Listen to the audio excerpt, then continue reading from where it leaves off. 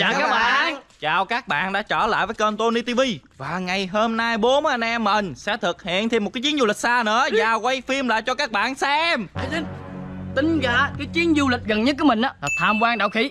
Clip đó tới này cũng hơn 3 tháng rồi. Chính Ừ, xác. À, ví dụ lần này có đi á là đi phượt bằng xe máy nha. Sao? Chứ đi xe hơi á, tao ôi mệt dữ lắm. tao y chang mày vậy Trời đó. ơi. Vậy mấy anh em mình đi tham quan làng hoa Sa Đéc đi. Em thấy có nhiều bông đẹp lắm. Làng qua Qua- Sa Đéc Qua bên đó quay vậy. Ừ. Qua cúc, qua dạng thọ, qua lan, rồi bông hồng Ủa, này kia ha. à? Con ra nít nó đâu có coi mấy cái bông đó. Vòng vòng ở đây mình quay hết trơn rồi Vinh ơi. Ừ. Giống như ờ, hồi năm 2020 là mày dắt mấy đứa đi chơi Tết ở Sa Đéc nè. Chính xác. Còn Lai Dung thì mình cũng có đi tham quan vườn quýt hồng Đúng. Rồi xuống chút xíu rồi có Long Xuyên. Mà mày cũng dắt mấy đứa đi chơi ở công viên nước hết rồi. trơn luôn rồi. Chỉ còn có Cần Thơ là mình chưa đi thôi. Cần Thơ hả? Tao Ừ. qua bên đó làm gì mày? Thì có chợ nổi nè mày Cũng là cái đặc điểm của Ê, miền Tây nó- mình. Nó có lý đó, chợ nổi Từ kìa đây nè. qua tới Cần Thơ á cũng xa nha. Ừ. Nếu tính mình đi bằng xe máy á cũng gần uh, 3 tiếng đồng hồ cỡ 3 Rồi. tiếng đồng hồ để suy nghĩ cái đã. Đi không? Thôi quyết định đi, về nhà soạn đồ đi Cần Thơ luôn cho nó lẹ. Rồi đi luôn Em có cái thắc mắc này nè. Thắc mắc cái gì nữa? Thường thường em nghe chợ rau, chợ cá, chợ gạo. Ừ. Chợ nói là chợ gì? Em không hiểu luôn á. Thích cho nó biết đi. Nè nè nè, nghe từ từ nè Chợ là cái gì? Định nghĩa nghe coi. Cái chợ là cái nơi bà con buôn bán. Chính xác, rồi bây giờ nổi là sao nè, trừu tượng được không? Nổi là nổi trên mặt nước. Rồi Đúng. ghép lại cái chợ nổi nó làm sao? Theo em nghĩ á, chợ nổi là cái chợ bà con buôn bán trên sông á. Chính xác. Rồi, thì bây giờ về soạn đồ rồi đi. Khoan, em còn thắc mắc này nữa nè. Bây giờ mày thắc mắc cái gì mày gom lại mày hỏi hết luôn đi nè thằng ông nội. Vậy còn cái răng, cái răng là cái gì? Em không hiểu luôn Nó là tên của một cái quận ở bên Cần Thơ. Ờ. Người ta tương truyền hồi xưa miền Tây mình nó là một cái khu đầm lầy. À. Rồi sau đó có một con cá sấu siêu to khổng lồ. Nó thoát khỏi cái tay của bà Tân Vlog. Nó mới qua bên đây. Rồi nó mới để lại cái răng của nó. Người ta gọi đó là quận cái răng mày hiểu chưa? Hả mày. Vậy? Với lại còn một cái uh, truyền thuyết khác nữa. Khác Là cái chữ cái răng này nó xuất phát từ cái chữ cà răng ở trong tiếng Khmer đó. Thì cái nghĩa của từ cà răng này á Nó là ông Ờ, thôi, táo. thôi thôi thôi. Mày càng giải thích tao càng khó hiểu. Được rồi Thôi mày không cần phải hiểu. Giờ quyết định đi Cần Thơ đúng không? Đúng rồi. Đi mấy ngày để anh em tao biết chuẩn bị đồ. Hai ngày. Rồi đi mày chuẩn bị đồ Rồi, thôi rồi đi. Lẹ lẹ nè mấy cha nội ơi. Tụi mình đã tới khách sạn Cần Thơ nè mọi người. Ghim cái chìa khóa vô cái nó cháy đèn lên. Bởi vậy? Nó bị kẹt cái gì rồi đây nè. Tao ghim không có vô Đây nè. Ủa, Thứ dữ nữa rồi đó. Thôi Việc làm đầu tiên của tụi mình khi tới khách sạn đó là quăng cái vali và cái ba lô lên giường cái cho nó khỏe nè. Oh my god Cái view nó đẹp coi kìa. Khi chúng ta đứng bên đây sẽ ngắm được cái vách tường bờ bên kia đó các bạn ha. Rất là thoải mái nha các bạn. Để mình review ngang cái cho các bạn xem nè. À, À, cái gì dịch, ạ? dịch, cái vụ gì? Ở ngoài tao thấy ánh sáng đèn cũng bình thường mà sao trong máy quay nó cà chớp cà chớp như quán bar mày? Trời ơi cái con mắt của GoPro mà sao so với mắt người mình được từ Cao Lãnh mình đi qua Cần Thơ là hai tiếng rưỡi bây giờ là 9 giờ 45 phút rồi nè các bạn. Bây giờ kiếm nước uống một cái. Ủa? Ủa ta đúng là phải có nước uống chứ. Hả nước không có mà đây có cái ấm là sao trời Tao hiểu rồi này ơi hiểu gì? Cho mình cái ấm Cho thêm cái ly. Tức là khi nào mày khát nước á Thì tự nấu uống. Rượu ở đây muốn dạy cho mình cái tính tự lập Với lại hiểu rõ thêm cái quy tắc á Có làm thì mới có ăn. Thôi mày bớt xàm đi qua ơi kiếm nước đi. Không có nước thì giờ là người ta để nước khác ở trong tủ lạnh. Đã là cái tủ lạnh rồi mà bây giờ còn để bên trong cái tủ nữa trời. Khách sạn nào không thiết kế vậy mày? Thôi lấy nước uống đi. Có là mai. Gì đây? Lít đờ heo. Lần đầu tiên đi khách sạn Thấy để cho nước lít gửi trong tủ lạnh luôn á. Giờ bây giờ mày uống không? Uống chứ mày. Five minutes later. Trời ơi, lẹ lẹ đi anh em ơi Đi chợ nổi mà giờ 10 giờ sáng mới tới các bạn. Trễ lắm rồi. cái camera không à Còn tao ôm cái túi bành kia đây nè. Đừng có lệ mày nữa. Ở miền Tây mình lại vậy đó các bạn ơi.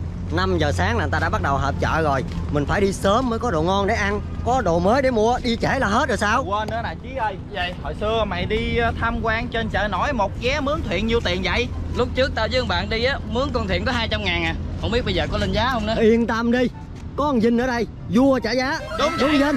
Đúng. Bốn người một trăm rưỡi được không chú? Thì tại vì nó bớt bớt không được bởi vì nói ra xăng dầu lúc này nó cũng lên kiểu như sinh viên á học phí nó cũng phải giảm khi mình có sổ hộ nghèo đúng không chú? Ờ.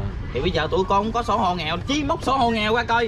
Cũng phải chú. Chú chú bớt đỉnh cho vô thì giá này giá xăng dầu nó lên mấy ngày rồi thành ra là bớt không được. Lúc trước thì có thể bớt được Cái này xăng dầu nó lên cao lắm rồi. Ờ, chí ra ngoài móc tiền ra trả chú 300 ngàn cho tao đi. Rồi trả chứ ơi. Ừ. còn có trăm mấy à không đủ. Dập hết tiền à, đó rồi rồi. móc tiền ra coi.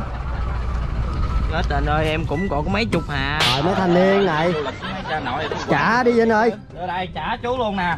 Đâu rồi? Có đem tiền không nội? Có mày. Trả đi. đây nè trả chú luôn. Chút xíu chú thối con sao nha. Rồi, rồi, trời con cảm ơn chú nhiều. Rồi. Vô ổn định vị chút trí xíu các bạn mà thấy chú thân thiện quá các bạn ơi mình dễ chịu quá. Rồi. Lên trên ghe ngồi đi ngồi đi ơi thoải mái quá. Đây là lần đầu tiên mình được đi chợ nổi nha mọi người. Thật sự luôn.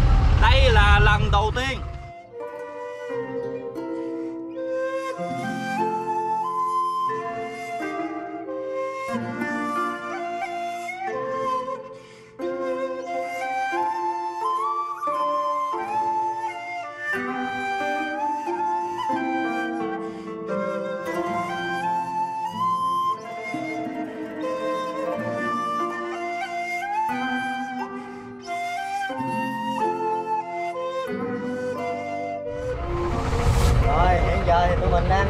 trước cổng của chợ nổi cái răng nha các bạn. Chuẩn bị đi vô chợ nè. À các bạn nhìn kìa. Trời.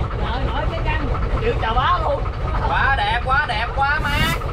Rồi đi thôi em ơi. Vô. Đa số ờ, cái ghe chợ nổi á, là nó bán hàng à, coi như là hàng rau củ không à. Dạ. hàng chợ á. À nông sản ha. Ờ Dạ. tại hàng để lâu á. Tại vì tứ xứ nó lại đây nó mua bán.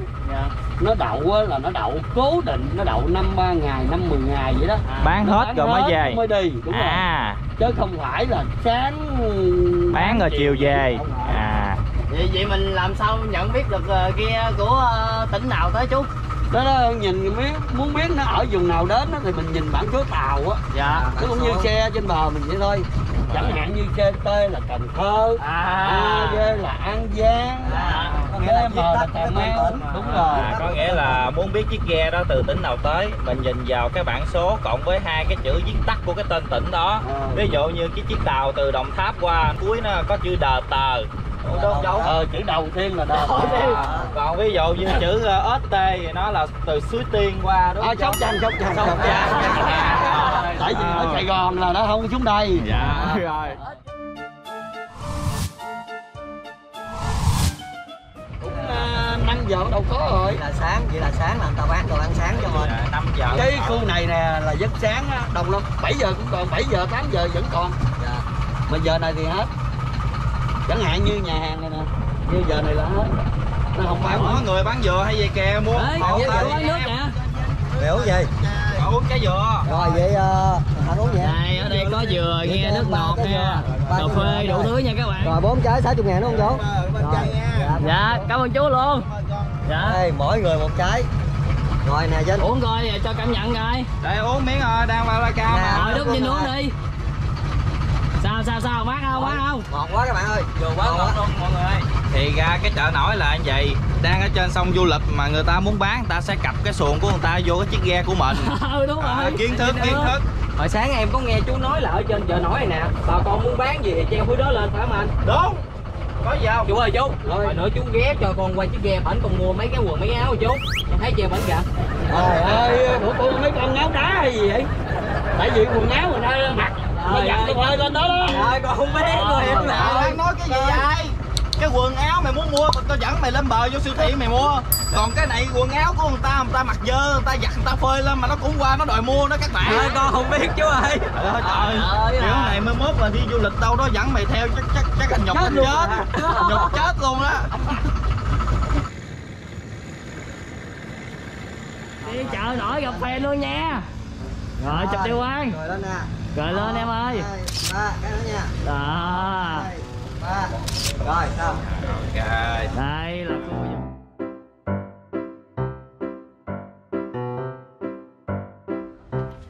bánh bía chay nè. Xì nách dừa. Bánh đậu phộng. Ơi để vô luôn. để vô tầm nữa nè. Vô tầm để vô luôn. Bánh chuối. Kẹo mà dứt để luôn vô luôn đi kẹo vô tay nè. Để vô luôn mày ơi. Rồi tao hai bình rượu luôn ơi vậy? mày uống rượu nào vậy? Tao đâu uống rượu, mua cho ba tao. Ủa cha mày tao nhớ ông đâu có biết uống rượu. Đúng rồi. Tao mua cho ông tập uống.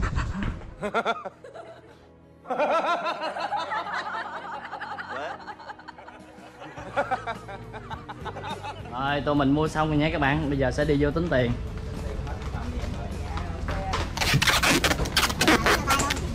Mình tính chung luôn anh hả đúng mà tính chung. Chung hết em ơi ừ, Rồi gói lại giúp anh. Hai củ thanh long một củ dừa. Sau khi tham quan mua sắm xong rồi tụi mình xuống thuyền thôi các bạn ơi. Rồi địa điểm tiếp theo sẽ là tham quan vườn ong mật vô trong đó sẵn mình sẽ mua khoảng à, hai ba lít mật gì đó đem về cho mẹ mình uống nha các bạn. Tao cũng mua nữa. Với lại mua về cho cha mình uống mật ong chung với nghệ để chữa bệnh đau bao tử luôn. Five minutes later. à cái nơi nuôi ong mật của mình gần đây không chú? Đây ờ, lên ờ, chỗ nuôi mật khoảng một cây số. Con thấy nãy giờ chú cũng già chú lái cũng lâu rồi. Thôi bây giờ à, chú đi xuống dưới ngồi nghỉ mệt đi để con lái chiếc thuyền này cho chú. ơi, con chạy luôn chú lên bờ luôn à. Chú Trời ơi, trời ơi, chú Rồi, chú dưới đi chú phải lên bờ mới được. Rồi, cái chiếc ờ, thuyền chim mình lái còn được mà huống chi mấy chiếc tàu này ăn nhầm gì bên các bạn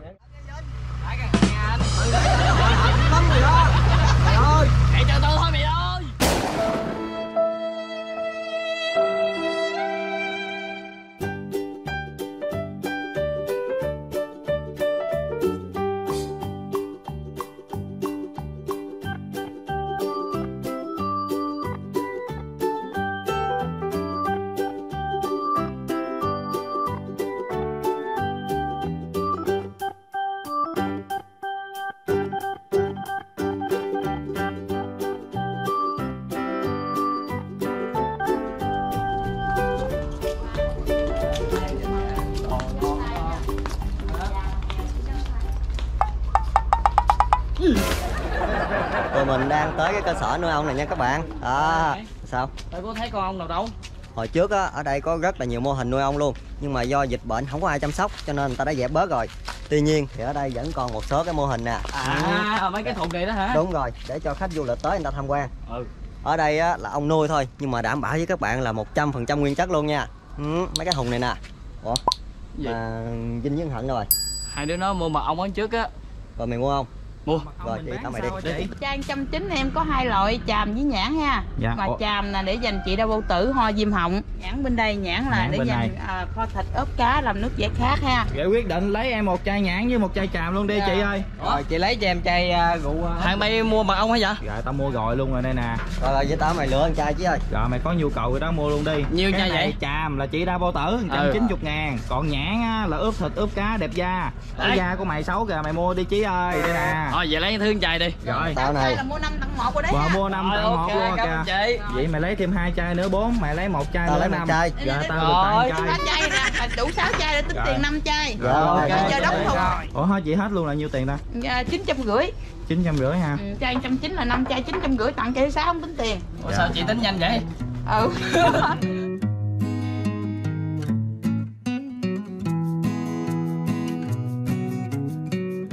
Tụi mình đã thấy cái cổng chợ nổi hẹn gặp lại luôn nè các bạn. Giờ vào trong này hỏi cảm nhận của mấy anh em sau cái chuyến tham quan này coi. Ai trước chí trước đi. để mình nói trước cho. Ok. Đây là lần thứ hai mình đi chợ nổi cái găng nha các bạn. Ừ. cảm giác vẫn còn thích thú lắm nha. Khi mình được đi trên con thuyền này nè mình sẽ thấy được cái cảnh người dân sinh hoạt nè buôn bán nè nhờ vậy á, mà được bổ sung thêm nhiều kiến thức lắm đó. Ok tiếp theo tới hả Giờ là em không có đi du lịch xa. Ừ. Nhờ đi chung với mấy anh á Em mới biết được là bà con ở chợ nổi như vậy nè.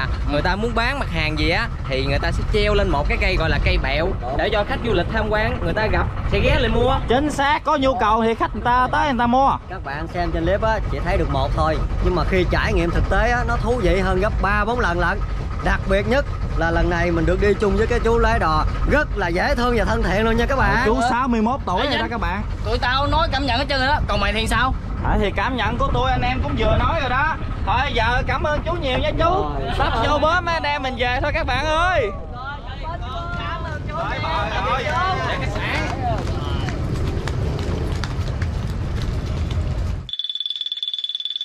hours later. sau khi tham quan chợ nổi cái găng về á thì trời cũng đã chiều rồi các bạn. Anh em mình tắm ra xong là trời tối thui luôn. Mà ban đêm á từ đây chạy về đồng tháp cũng hơi bị nguy hiểm. Ừ. nên tụi mình đã quyết định rồi tối nay ở lại đây một đêm sáng mai về sớm. Ờ thôi vậy đây chí ơi. Với lại tính ra nguyên ngày hôm nay tụi mình chỉ mới ăn có một bữa sáng à. Xong rồi đi chợ nổi chơi tới giờ mới về nè. Đói bụng muốn chết luôn. Mà lâu lâu xuống Cần Thơ mày kiếm chỗ nào ăn chỗ ngon ngon coi Vinh. Ừ muốn ăn ở đâu? quán nói đúng rồi đó lâu lâu mình mới xuống cần thơ một lần. Mày kiếm cái nhà hàng nào thiệt là sang trọng đi ăn cho đã đi. Ok mày luôn á. đi.